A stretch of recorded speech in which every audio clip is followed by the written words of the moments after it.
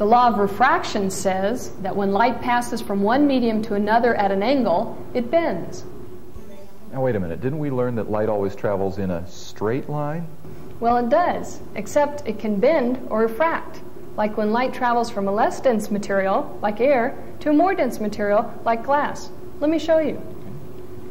We take a chunk of glass here, and we see that the laser light from this mirror illuminates the glass straight on. It doesn't bend. But now, as we turn the block of glass such that the light comes in from the laser to the glass at an angle, notice that it's bending down. Why? Because at an angle, the part of the beam that hits first slows down and pulls the rest of the beam around. You can see when light hits the glass straight on, there is no bending because all the light slows down at the same time. You know, Larry, this principle of light refraction can create some pretty interesting optical illusions. You want to see me shorten your legs? Oh, wait a minute. What do I have to do? Just meet me at the pool tomorrow. I'll show you. Okay. Hey, Larry. Hi, Chris. How you doing today? Here, Larry, do me a favor.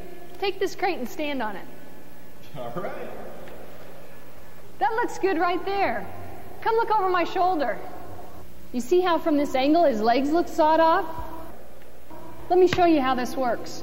The light reflected from his feet travels upward at an angle through the water. When it hits the surface, it bends towards our eyes. That's the actual path of the light ray.